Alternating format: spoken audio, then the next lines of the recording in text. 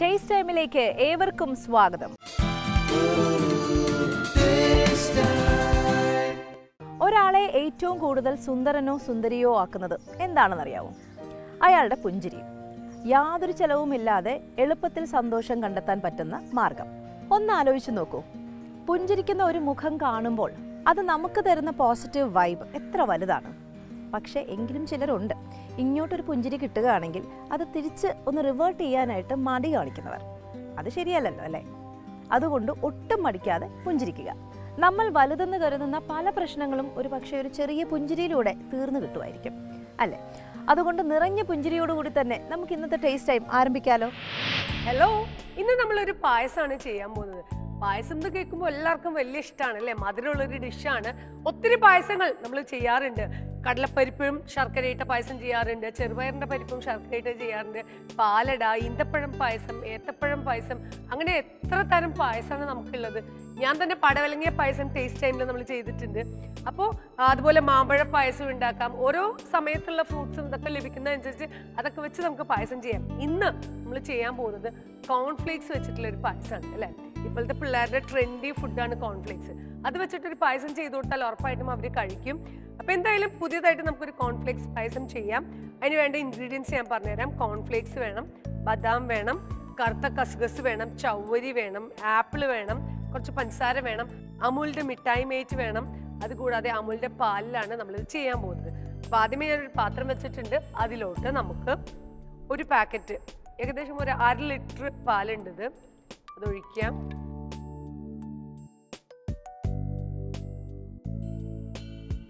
പാലൊഴിച്ചു ഇനി നമുക്ക് ഇതിലോട്ട് കുറച്ച് പഞ്ചസാര. പഞ്ചസാര ആഡ് ചെയ്യാം. ഫുൾ ഫ്ലെയിമിലാണ് വെച്ചേക്കുന്നത്. കുറച്ച് പാലിൽ കുറച്ച് പഞ്ചസാര ഇടാം. കുറച്ച് മതി കാരണം നമ്മൾ ഓൾറെഡി മിഠായി മേറ്റ് ഇതിലോട്ട് ഇടുന്നുണ്ട്. അപ്പം അതിന്റെ മധുരം എന്തായാലും ഉണ്ടാവും. പഞ്ചസാര ആഡ് ചെയ്തു. അതുപോലെ തന്നെ ഒരു ആപ്പിൾ ഒരു ആപ്പിൾ എടുത്ത് ഗ്രേറ്റ് ചെയ്ത് വെച്ചിട്ടുണ്ട്. ഈ ആപ്പിൾ ഇത് തിളച്ച് വരുമ്പോൾ ഇട്ടിട്ട് ഇതിലിട്ട് വേണം കുക്ക് ചെയ്യാൻ വേണ്ടിയിട്ട്. കാരണം ആപ്പിൾ ഗ്രേറ്റഡ് ആണ്. അപ്പോൾ ഇതിലിട്ട് ഒന്ന് വേവിച്ച ശേഷം ഏറ്റവും അവസാനം ഇട്ടാൽ മതി കോൺഫ്ലേക്സ്. അറിയാലോ? പാലിലിട്ട് കഴിയുമ്പോഴത്തേക്കും അത് സോഫ്റ്റ് ആവും. പ്രത്യേകിച്ച് ചൂട് പാലായതുകൊണ്ട്. ഇത് നന്നായിട്ട് ഇളക്കി കൊടുക്കാം. അതുപോലെ തന്നെ ചവ്വരി നമ്മൾ തലേ ദിവസം നേരത്തെ എടുത്ത് ഒരു പാത്രത്തിൽ എത്രയാണ് വേണ്ടതെന്ന് വെച്ചാൽ സോക്ക് ചെയ്ത് വെച്ചുവാണെങ്കിൽ വെക്കുവാണെങ്കിൽ പിറ്റേ ദിവസം എടുത്ത് നമുക്ക് കുക്ക് ചെയ്യാൻ എളുപ്പമാണ്. ഒത്തിരി ടൈം വേണം അത് വേകാൻ വേണ്ടിയിട്ട്. അപ്പോൾ സോക്ക് ചെയ്ത് വെച്ചാൽ നമുക്ക് കുറച്ചുകൂടെ എളുപ്പമാണ്. ചവരി ശരിക്കും ഒരു സ്റ്റാർച്ച് കണ്ടന്റ് ആണ്. ഒരു കോൺ കോൺ സ്റ്റാർച്ച് ഒക്കെ യൂസ് ചെയ്യുന്ന പോലെ തന്നെ നല്ല കുറുകും പായസത്തിൽ ഇട്ട പായസം കുറുകാൻ സഹായിക്കുന്ന ഒരു ഏജന്റ് കൂടിയാണ്. എന്തായാലും ഇത് തിളച്ച് കഴിയുമ്പോൾ നമുക്ക് ഇൻഗ്രീഡിയൻസ് ഓരോന്നോരോന്നായിട്ട് ഇട്ട് കൊടുക്കാം. എനിക്ക് തോന്നുന്നു ഇപ്പൊ കുറച്ച് സമയമുണ്ട്. നമുക്ക് ബദാം ചെറുതായിട്ട് നുറുക്കിയെടുക്കാം.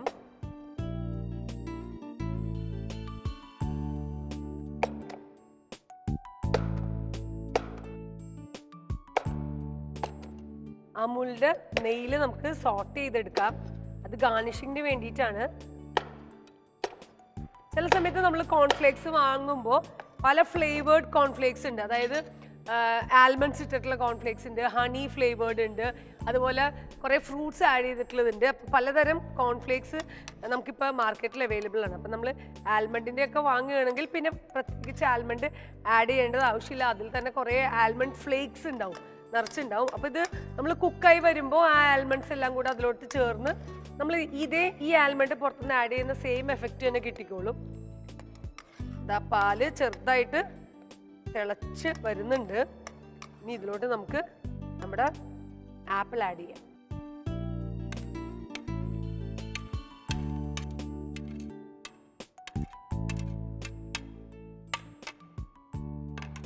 എനിക്ക് ഓർമ്മയുണ്ട് നമ്മൾ ഇതിനു മുമ്പ് ആപ്പിളും അതുപോലെ പാലും കറുത്ത കസേഴ്സും ഒക്കെ ഇട്ടിട്ടുള്ള ഒരു ഡിഷ് ഇതിന് മുന്നേ ടേസ്റ്റ് ടൈമിൽ പ്രിപ്പയർ ചെയ്തിട്ടുണ്ട്. അതൊരു ഐസൊക്കെ ഇട്ടിട്ടുള്ള ഒരു കൂൾ ഡ്രിങ്ക്സ് ആയിരുന്നു.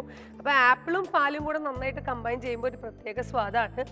ഇനി ഇതിലോട്ട് നമ്മുടെ കോൺഫ്ലേക്സും അതുപോലെ തന്നെ മിഠായി മീറ്റും ഒക്കെ ചേരുമ്പോൾ നല്ല സ്വാദുണ്ടാവും ഗാർണിഷിങ്ങിന് നമ്മുടെ ആൽമണ്ട്സ് ഇവിടെ റെഡി ആയിട്ട് ഇരിപ്പുണ്ട്. എല്ലാ സന്തോഷമുള്ള അവസരങ്ങളിലും നമുക്ക് ആദ്യം മനസ്സിലോട്ട് ഓടിയെത്തുക പായസമാണല്ലേ? കാരണം മധുരമുള്ളതൊക്കെ ആവുമ്പോൾ അടുത്ത വീട്ടിൽ കൊടുക്കാനും എല്ലാവർക്കും കഴിക്കാനും ഒരു പായസം ഉണ്ടാക്കുക എന്ന് പറയുന്നത് കൂടുതലും നോർമലായിട്ടുള്ള ഡേയ്സിനല്ല എന്തെങ്കിലും വിശേഷങ്ങളൊക്കെ വീട്ടിലുണ്ടാകുമ്പോൾ എക്സാമിന്റെ റിസൾട്ട് വരുമ്പോൾ അല്ലെങ്കിൽ ആർക്കെങ്കിലും ജോലി കിട്ടി എന്ന് പറയുമ്പോൾ അല്ലെങ്കിൽ ബർത്ത്ഡേയ്സ് വരുമ്പോൾ ഒക്കെ നിർബന്ധമായിട്ടും നമ്മൾ കഴിക്കുന്ന ഒരു വിഭവമാണ് പായസം. അപ്പോൾ പായസത്തിന് അങ്ങനെ എന്താ പറയുക നമ്മളിങ്ങനെ ക്ലാരിഫൈ ചെയ്ത് വെച്ചിരിക്കുക ഇന്ന ഇന്ന വിശേഷ അവസരങ്ങൾ ബർത്ത്ഡേനോട് റിലേറ്റ് ചെയ്ത് എപ്പോഴും ഓർക്കുന്ന ഒരു വിഭവമാണ് ശരിക്കും പായസം. അപ്പോൾ ദാ ഗ്രേറ്റ് ചെയ്തോടും കൊണ്ട് ഒരുപാട് കുക്ക് ചെയ്യണ്ട ഓവർ കുക്ക്ഡ് ആവണ്ട. ഇനി ഇതിലോട്ട് നമുക്ക് ഓരോന്ന് ഓരോന്നായിട്ട് ചേരുവകൾ ചേർക്കാം. നമുക്ക് ഇതിലോട്ട് അമുലിന്റെ മിഠായി മേറ്റ് ഇതാ പാൽ തിളച്ചു. ഇനി അമുലിന്റെ മിഠായി മേറ്റ് ഇതിലോട്ട് ആഡ് ചെയ്യാം.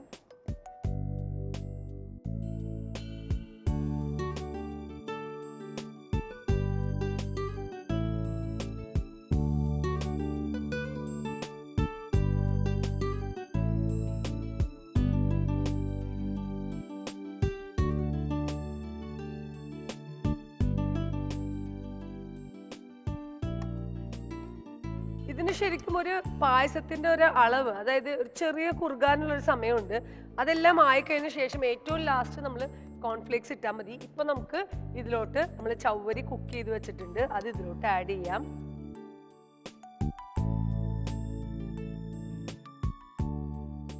ചവ്വരി ശരിക്കും ഇതിൽ ഹാഫ് കുക്ക്ഡ് ആണ്. ഇനി പാലിലും കൂടെ കിടന്ന് ഇത് നന്നായിട്ട് വേഗം അപ്പോൾ അതുകൂടെ ആഡ് ചെയ്ത് ചെറിയ തീയിലാണ് വെച്ചിരിക്കുന്നത്. കാരണം മിൽക്ക് മെയ്ഡ് ആഡ് ചെയ്തതിന് ശേഷം ഒരുപാട് ഹൈ ഫ്ലെയിമിൽ വെച്ച് ഓവറായിട്ട് ഇങ്ങനെ ബോയിൽ ചെയ്യാൻ പാടില്ല.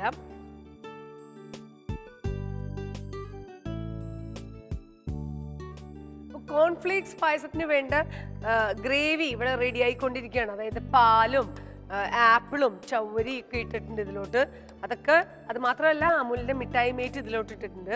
ഇതൊന്ന് കുക്കായി കൊണ്ടിരിക്കുന്ന സമയത്ത് നമുക്ക് ഇപ്പുറത്തെ ഒരു പാൻ വെച്ച് അതിലോട്ട് കുറച്ച്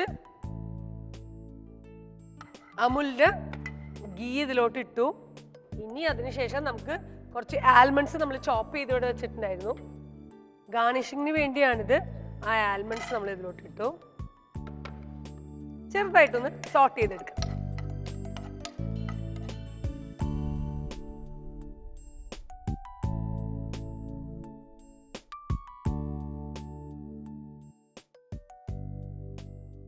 സോട്ട് ചെയ്യുന്ന സമയത്ത് തന്നെ നമുക്കിതൊന്ന് ഇളക്കി കൊടുക്കാം. കണ്ടില്ലേ? നമ്മുടെ പാലും ആപ്പിളും പിന്നെ അതുകൂടാതെ മിഠായി മീറ്റും പഞ്ചസാരയും കൂടെ ഡവാണ് ഇതിലോട്ട് നമുക്കിനി കോൺഫ്ലിക്സ് ആഡ് ചെയ്യാം.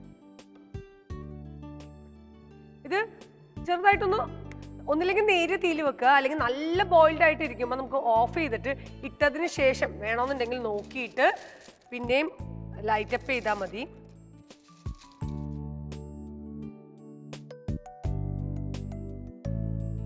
ഇത് ശരിക്കും കോൺഫ്ലേക്സ് ഹണിയാണ് ഞാൻ ഇന്നിപ്പോൾ ഇതിൽ ആഡ് ചെയ്യുന്നത്. അപ്പോൾ ഹണിയുടെ ഒരു ഫ്ലേവറും ഒക്കെ ഇതിലുണ്ടാവും നോക്കി ഒരുപാട് ഒരുപാട് ഇട്ടത് ഒരു കുറുകിയ രീതി ആയി പോകുന്നത് കണ്ടില്ലേ ആൽമണ്ട്സ് റെഡി ആയി കഴിഞ്ഞു. ആൽമണ്ട്സ് ഓഫ് ചെയ്യാം. ഓക്കെ കുറച്ചുകൂടെ സ്പേസ് ഉണ്ട് നമുക്ക് കുറച്ചുകൂടെ ഇടാം.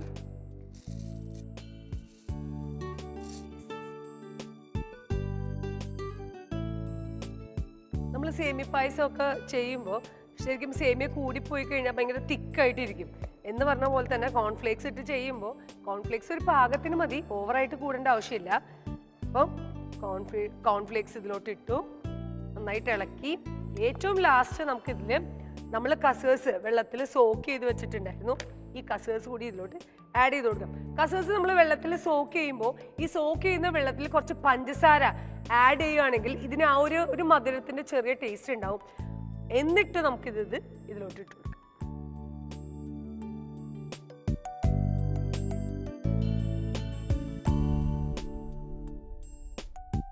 നമ്മുടെ കോൺഫ്ലേക്സ് പായസം റെഡി ആയിരിക്കുകയാണ്. ഞാനൊരു ബൗളിലോട്ട് ഇത് സെർവ് ചെയ്യാൻ പോവുകയാണ്. സാധാരണ പായസങ്ങളിൽ നിന്നും കുറച്ച് ഡിഫറെന്റ് ആണ്. എന്നാൽ കുട്ടികൾക്കൊക്കെ ഒത്തിരി ഇഷ്ടമാവുകയും ചെയ്യും.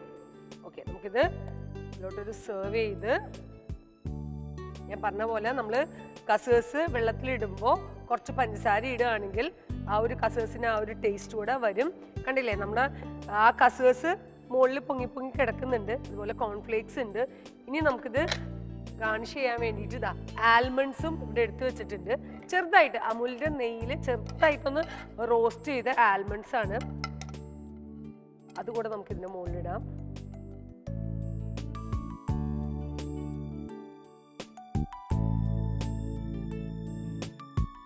ഇത് ഒരിക്കൽ കൂടി ഞാൻ പറഞ്ഞു തരാം ഇത് എങ്ങനെയാണ് ചെയ്തത് ആദ്യമേ തന്നെ നമ്മളൊരു പാത്രം വെച്ചു അതിൽ പാലിട്ടു പിന്നെ കുറച്ച് പഞ്ചസാര ഇട്ടു പിന്നെ അമൂലിന്റെ മിഠായി മേറ്റ് ഇട്ടു എന്നിട്ട് ഗ്രേറ്റ് ചെയ്ത ആപ്പിളും കൂടി ഇട്ട് അത് ചെറുതായിട്ട് കുക്ക് ചെയ്തു.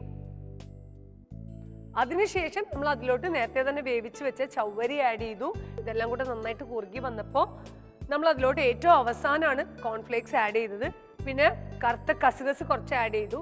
കുറച്ച് അമുലിന്റെ നെയ്യിൽ സോട്ട് ചെയ്ത ആൽമണ്ട്സ് അതിന്റെ മുകളിലിട്ട് ഗാർണിഷ് ചെയ്ത് റെഡിയാക്കി. കണ്ടില്ലേ? സ്വാദേറിയ കോൺഫ്ലേക്സ് പായസം. ഇപ്പോഴത്തെ ട്രെൻഡി കുട്ടികൾക്ക് നമുക്ക് കൊടുത്ത് അവർ ഉറപ്പായിട്ടും പായസം എന്താണെന്ന് കഴിപ്പിച്ച് നോക്കാം. അപ്പോൾ ഉറപ്പായിട്ടും നിങ്ങൾ എല്ലാവരും ഇത് ട്രൈ ചെയ്യണം. ഒരു വ്യത്യസ്തമായിട്ടുള്ള ഒരു പായസമാണ് ഇന്ന് അവൈലബിൾ ആയിട്ടുള്ള കുട്ടികൾക്ക് ഇഷ്ടമുള്ള. കോൺഫ്ലേക്സ് അവരുടെ ഇഷ്ടമുള്ള ഫ്ലേവർ യൂസ് ചെയ്ത് ചെയ്യാവുന്ന ഒരു പായസമാണ്. ഉറപ്പായിട്ടും ട്രൈ ചെയ്ത് നോക്കണം. പോവരുത്. അടുത്ത ഡിഷുമായിട്ട് ഞാൻ വീണ്ടും വരുന്നുണ്ട്.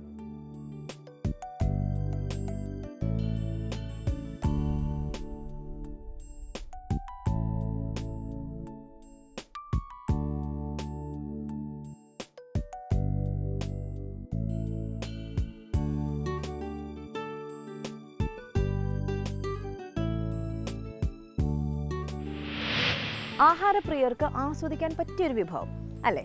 ഇനിയും വരുന്നുണ്ട് അടുത്ത വിഭവം ഒരു ചെറിയ ഇടവേളയ്ക്ക് ശേഷം. ബീഫ് ഫ്രൈ ആണ് നമ്മൾ ഇനി അടുത്തത് ചെയ്യാൻ പോകുന്നത്. അപ്പൊ തൈരിടാം. കുറച്ച് ലൈം ജ്യൂസ് ബീഫ് നമ്മൾ തീരെ ചെറുതായിട്ട് അരിയാണെങ്കിൽ സത്യത്തിൽ പ്രഷർ കുക്കറിൽ വെച്ച് വേവിക്കണം എന്നില്ല ഈ ഒരു തൈരിടുമ്പോൾ തന്നെ ബീഫ് നല്ല സോഫ്റ്റായി കിട്ടും. കുറച്ച് നേരം സോട്ട് ചെയ്യുമ്പോൾ ഇത് നല്ല കറുത്ത കളറായിട്ട് വരും. അപ്പോൾ നമുക്കിത് ചൂടോടെ സെർവ് ചെയ്യാം.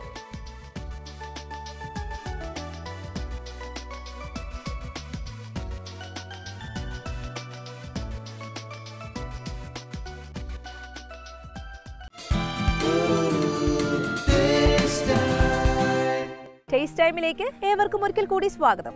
ഞാൻ നേരത്തെ പറഞ്ഞ വാക്ക് തെറ്റിക്കുന്നില്ല. ആഹാരപ്രിയർക്ക് കഴിക്കാൻ വേണ്ടി മാത്രമല്ല അവർക്ക് വേണമെങ്കിൽ ഒന്ന് പരീക്ഷിക്കാനും പറ്റിയൊരു വിഭവമാണ് വരുന്നത്. കാണുക. ബീഫ് ഫ്രൈ ആണ് നമ്മൾ ഇനി അടുത്തത് ചെയ്യാൻ പോകുന്നത്. അപ്പൊ ഇതിന് നമുക്ക് കുറച്ച് എല്ലില്ലാത്ത ബീഫ് ഉണ്ട്. അതുപോലെ തൈരുണ്ട് ഇടിച്ചമുളകുണ്ട് വേപ്പിലയുണ്ട് കുരുമുളകുണ്ട് ഇഞ്ചി വെളുത്തുള്ളി പേസ്റ്റ് ഉണ്ട് പച്ചമുളക് അരച്ചതുണ്ട് ലെമൺ ജ്യൂസ് ഉണ്ട്. അപ്പൊ കുറച്ച് ഇൻഗ്രീഡിയൻസ് കൊണ്ട് പെട്ടെന്ന് ചെയ്യാവുന്ന ഒരു ബീഫ് ഫ്രൈ ആണിത്. പക്ഷെ സോർട്ട് ചെയ്തെടുക്കാൻ കുറച്ച് സമയം പിടിക്കും. കുക്കിംഗ് ടൈമാണ് കുറച്ച് അധികം ഇൻഗ്രീഡിയൻസ് ഒക്കെ കുറച്ചേ ഉള്ളൂ. അപ്പോൾ ഒരു പാൻ വെച്ചിട്ടുണ്ട്. അതിലോട്ട് ഇനി നമുക്ക് ആവശ്യത്തിന് നമുക്ക് ഇതിലോട്ട് ബീഫ് ഇടാം. ബീഫ് ഇട്ടു. ഇനി നമുക്ക് ബീഫ് ഇട്ട ശേഷം ഇതിലോട്ട് വൺ ബൈ വൺ ആയിട്ട് നമുക്ക് ഓരോ ഇൻഗ്രീഡിയൻസ് ആഡ് ചെയ്ത് കൊടുക്കാം. തൈര്. ശരിക്കും ഇതിൽ നമ്മൾ വെള്ളം ഒഴിക്കുന്നില്ല. ഇത് കുക്ക് ചെയ്യുന്നത് തൈരിലാണ്. അപ്പം തൈരിടാം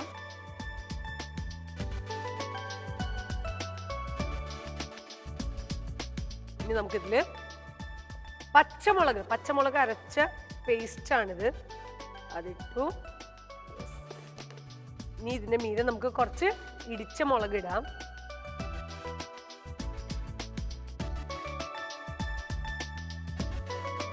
ഇഞ്ചി വെളുത്തുള്ളി പേസ്റ്റ് ഉണ്ട്. അത് കുറച്ച് അധികം ഇടാം. കുറച്ച് കുരുമുളക്.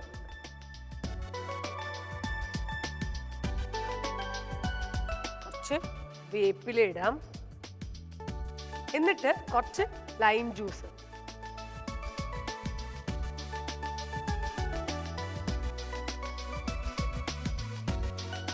ഇനി ഇത് നന്നായിട്ട് മിക്സ് ചെയ്യാം. ഹൈ ഫ്ലെയിമിൽ വെച്ചിട്ട് നന്നായിട്ട് മിക്സ് ചെയ്യാം.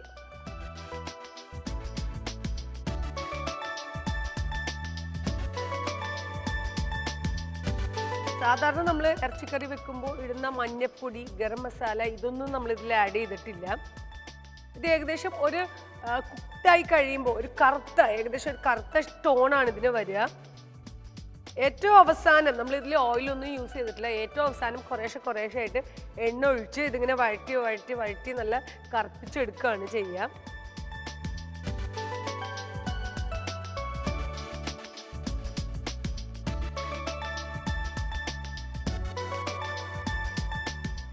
ബീഫ് നമ്മൾ തീരെ ചെറുതായിട്ട് അരിയാണെങ്കിൽ സത്യത്തിൽ പ്രഷർ കുക്കറിൽ വെച്ച് വേവിക്കണം എന്നില്ല. ഈ ഒരു തൈരിടുമ്പോൾ തന്നെ ബീഫ് നല്ല സോഫ്റ്റ് ആയി കിട്ടും. അത് കഴിയുമ്പോൾ തനിയെ തന്നെ നമ്മളിങ്ങനെ സോർട്ട് ചെയ്ത് സോർട്ട് ചെയ്ത് സോർട്ട് ചെയ്ത് അതിങ്ങനെ മൊരിഞ്ഞ് മൊരിഞ്ഞ് മൊരിഞ്ഞ് അങ്ങനെ വെന്ത് വരും. അല്ല കുറച്ച് വലിയ കഷ്ണമായിട്ടാണ് നമ്മളിത് ചെയ്യുന്നതെങ്കിൽ ഈ ഫ്രൈ ചെയ്യുന്നതെങ്കിൽ ഉറപ്പായിട്ട് നമ്മൾ ഈ മിക്സ് എല്ലാം ചേർത്തിട്ട് അതായത് ഈ പച്ചമുളക് അരച്ച പേസ്റ്റും ഇഞ്ചി വെളുത്തുള്ളി പേസ്റ്റും കുരുമുളകും ഇടിച്ചമുളകും ലെമൺ ജ്യൂസും ഒക്കെ കൂടി ചേർത്ത് പ്രഷർ കുക്കറിൽ വെച്ച് ഒരു രണ്ട് മൂന്ന് വിസിൽ വന്നതിന് ശേഷം ഓഫ് ചെയ്ത് ഇതുപോലെ ഒരു പാനിലെടുത്തിട്ട് ആ വെള്ളം ഇങ്ങനെ കുറേശ്ശെ വറ്റിച്ച് വറ്റിച്ച് വെള്ളം വറ്റുന്നതിനനുസരിച്ച് നമ്മൾ കുറേശ്ശെ ഓയിൽ ആഡ് ചെയ്ത് കൊടുക്കാം കുറച്ച് പെപ്പർ മേളിലിട്ട് കൊടുക്കുക. എന്നിട്ട് ഇതെല്ലാം കൂടി ഇങ്ങനെ വഴറ്റി വഴറ്റിയാണ് ഇതിന്റെ ഫൈനൽ പ്രൊഡക്റ്റ് ആയിട്ട് കറുത്ത കളറിലുള്ള ബീഫ് ഫ്രൈ റെഡിയായി വരുന്നത്. അപ്പോൾ എന്തായാലും ഇതാ ഇതിലിപ്പോൾ നിറച്ച് വെള്ളമുണ്ട്. ഓപ്പൺ ചെയ്ത് തന്നെ വെക്കണം. വെള്ളം വറ്റണമെന്നുണ്ടെങ്കിൽ ഒരിക്കലും മൂടി വെച്ച് കഴിഞ്ഞാൽ വെള്ളം വറ്റില്ല നമുക്കറിയാം. വെള്ളം വറ്റാൻ അതിന്റെതായിട്ടുള്ള കുറച്ച് സമയം എടുക്കും.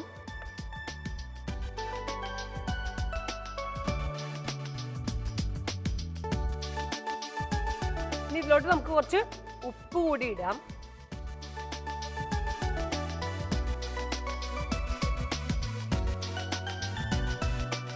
ഉപ്പൊക്കെ മിക്കവർക്കും ഒരു കൈക്കണക്കാണ് അറിയാലോ. സാധാരണ ഇപ്പോൾ എല്ലാവരും കുറച്ച് നാൾ മുമ്പ് വരെ അയോഡൈസ്ഡ് ആയിട്ടുള്ള സോൾട്ട് ഒക്കെയാണ് ഉപയോഗിച്ചിരുന്നത്. പക്ഷേ ഇപ്പോൾ നമുക്ക് എല്ലാവർക്കും ഏകദേശം എല്ലാവരും തിരിച്ചറിഞ്ഞ് തുടങ്ങി. അയോഡിൻ നമ്മുടെ ശരീരത്തിൽ ആവശ്യത്തിലേറെ ആവശ്യമില്ലാത്തത് കൊണ്ട് സാധാരണ നമ്മുടെ കല്ലുപ്പില്ലേ? അതാണ് ഏറ്റവും നല്ലത് നമുക്ക് പാചകം ചെയ്യാൻ. മുമ്പുള്ള നമ്മുടെ എന്താ ഗ്രാൻഡ് പാരൻസ് ഒക്കെ യൂസ് ചെയ്തിരുന്നതും അതാണ്. പിന്നെ നമ്മുടെ ഈ ഒരു തലമുറയിലോട്ട് വന്നു കഴിഞ്ഞപ്പോൾ എല്ലാവരും ഇങ്ങനെ ഈസി ഫ്രീ ഫ്ലോയിങ് ആയിട്ടുള്ള ഉപ്പും ഒക്കെ യൂസ് ചെയ്ത് അത് കട്ട പിടിക്കില്ല എടുക്കാൻ നല്ല സുഖമാണ് കൺവീനിയന്റ് ആണ്. അതൊക്കെയാണ് നമ്മൾ അങ്ങനത്തെ ഉപ്പിലോട്ടൊക്കെ പോകാൻ കാര്യം. പക്ഷേ ശരിക്കും അത്രയും അയോഡിൻ നമ്മുടെ ശരീരത്തിന് ആവശ്യമില്ലാത്ത കുറേ കാര്യങ്ങൾ നമ്മൾ ശരീരത്തിലോട്ട് എടുക്കേണ്ട ആവശ്യമില്ലല്ലോ. അപ്പോൾ അതുകൊണ്ട് കല്ലുപ്പാണ് ഏറ്റവും ബെസ്റ്റ് നമുക്ക് എടുക്കാൻ സൗകര്യത്തിന് വേണമെങ്കിൽ ഒന്ന് മിക്സിയിലിട്ട് ചെറുതായിട്ടൊന്ന് പൊടിച്ചു വെച്ചാൽ മതി. പക്ഷെ അത് ഇരിക്കുന്നോറും ചെറുതായിട്ട് കട്ട വരും എന്നുള്ളത് സത്യമാണ്. പക്ഷെ എടുത്തിട്ട് ഉപയോഗിക്കാൻ നല്ലതാണ്. പക്ഷെ കല്ലുപ്പ് ആസ് സച്ച് നമ്മൾ എടുത്ത് കറിയിലോട്ട് ഇട്ട് കഴിയുമ്പോൾ ചിലപ്പോൾ ഉപ്പ് കറക്റ്റായിട്ട് മെൽറ്റ് ആയിട്ടില്ലെങ്കിൽ അവിടെ ഇവിടെ കുറച്ച് കൂടുതൽ ഉപ്പ് നമുക്ക് ടേസ്റ്റ് ചെയ്യുമ്പോൾ ഫീൽ ചെയ്യാറുണ്ട്. അതുകൊണ്ട് എപ്പോഴും കുറച്ചൊന്ന് പൊടിച്ച ശേഷം കല്ലുപ്പ് ഉപയോഗിച്ചാൽ മതി. അപ്പോൾ ഇതിൽ വെള്ളം വറ്റാൻ വേണ്ടി നമുക്ക് വെയിറ്റ് ചെയ്യാം.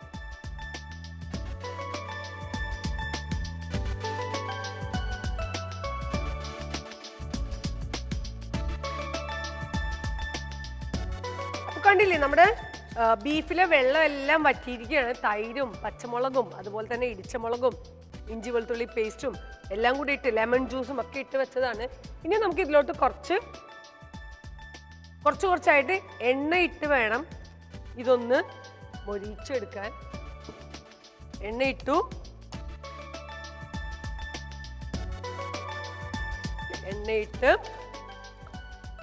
എണ്ണയിട്ട് നമുക്ക് ആവശ്യത്തിന് കുറച്ച് നേരം സോട്ട് ചെയ്യുമ്പോൾ ഇത് നല്ല കറുത്ത കളറായിട്ട് വരും. അപ്പം നമുക്കിത് ചൂടോടെ സെർവ് ചെയ്യാം.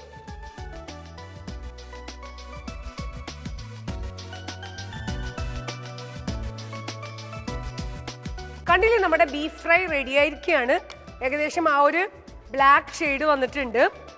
അപ്പോൾ ഇനി നമുക്കിത് ഓഫ് ചെയ്യാം. എന്നിട്ട് ചൂടോടെ സെർവ് ചെയ്യാം.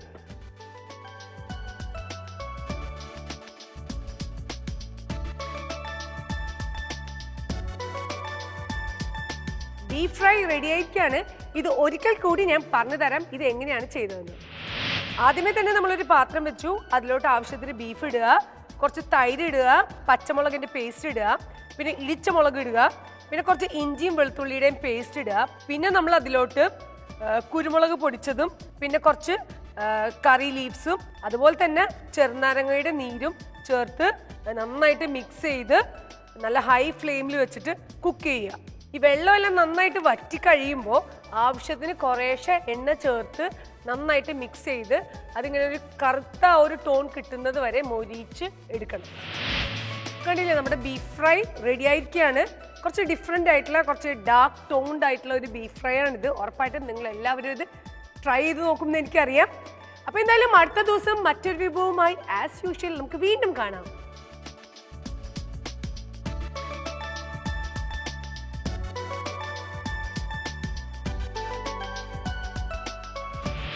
അതെ ഇതിങ്ങനെ കണ്ട് ആസ്വദിച്ചിരുന്നാൽ മാത്രം പോരാ കേട്ടോ. വേഗം ഒന്ന് കുറിച്ചിട്ടോളൂ. ഞാൻ വേഗം എത്താം. ഒരു ചെറിയ ഇടവേളയ്ക്ക് ശേഷം.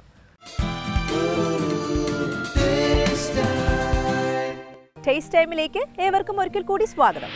ടേസ്റ്റ് ടൈം കത്തിന്റെ ഊഴമാണ് എന്ന് പറഞ്ഞിട്ട് കാര്യമില്ല. കാരണം ഈ റെസിപ്പിയുടെ കൂടെ കത്തൊന്നും തന്നെ എഴുതിയിട്ടില്ല. ഞാൻ എപ്പോഴും പറയാറുള്ളതല്ലേ വിശേഷങ്ങളും കൂടെ ഒക്കെ ഒന്ന് വെക്കണേ എന്നുള്ളത്. ഏതായാലും നമുക്ക് ചാലക്കുടിയിൽ നിന്ന് ഷീബ പൗലൗസ് ആണ് ഇന്നത്തെ കത്ത് അയച്ചിരിക്കുന്നത്. ഞാൻ റെസിപ്പി വായിക്കാം. റെസിപ്പി ചക്കപ്പപ്പടം. ചേരുവകൾ പഴച്ചക്ക ഇരുന്നൂറ് ഗ്രാം അരിപ്പൊടി ഒരു കപ്പ് ശർക്കര രണ്ട് കഷ്ണം എള്ള് ആവശ്യത്തിന് ഉപ്പ് ഒരു നുള്ള്. തയ്യാറാക്കുന്ന വിധം. പഴച്ചക്ക പഴുത്തത് പിഴിഞ്ഞ് അരിപ്പൊടിയും ചേർത്ത് ശർക്കര ഉരുക്കിയതും ചേർത്ത് കുഴയ്ക്കുക. ഇതിലേക്ക് ഒരു നുള്ളു ഉപ്പും എള്ളും ചേർത്ത് കുഴച്ച് പപ്പടം പോലെ പരത്തി വെയിലത്ത് വെച്ച് ഉണക്കിയെടുക്കാം. മഴക്കാലത്ത് വറുത്ത് ഉപയോഗിക്കാം. ഞാൻ എപ്പോഴും നിങ്ങളോട് പറയുന്നത് നിങ്ങൾ നിങ്ങളുടെ അടുക്കളയിൽ സ്വന്തമായി കണ്ടെത്തിയ പുതിയ റെസിപ്പീസ് എന്തെങ്കിലും ഉണ്ടെങ്കിൽ അയച്ചു തരാനായിട്ടാണ്. പക്ഷെ അങ്ങനെയൊന്നും ഇല്ല കേട്ടോ. നിങ്ങൾക്ക് വേണമെങ്കിൽ നമ്മൾ മറന്നുപോയിട്ടുള്ള ചില നാടൻ റെസിപ്പീസും ഞങ്ങൾ എഴുതി അറിയിക്കാം. അറിയിക്കേണ്ട വിലാസം the producer taste time Asianet communications limited N H bypass junction Palarivattom Kochi six eight two zero two five ഞാൻ തുടക്കത്തിൽ പറഞ്ഞതുപോലെ ഒരു ചെറിയ പുഞ്ചിരിയുടെ ശക്തി എന്ന് പറയുന്നത് അത്ര ചെറുതല്ല. ഒരു പക്ഷെ നമ്മുടെ ഒരു പുഞ്ചിരിക്ക് നമ്മുടെ മാത്രമല്ല നമുക്ക് ചുറ്റുമുള്ളവരുടെ ദിവസം കൂടെ ശോഭനമാക്കാൻ സാധിച്ചേക്കാം. ഇത് ഓർമ്മിപ്പിച്ചുകൊണ്ട് തന്നെ നമുക്ക് ഇന്നത്തെ ടേസ്റ്റ് ടൈം ഇവിടെ പൂർത്തിയാക്കാം. വീണ്ടും ടേസ്റ്റ് ടൈമിലൂടെ